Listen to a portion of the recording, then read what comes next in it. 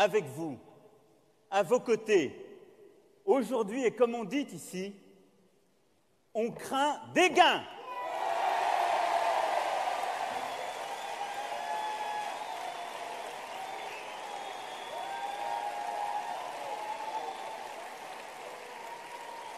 C'est cela que je suis venu vous dire.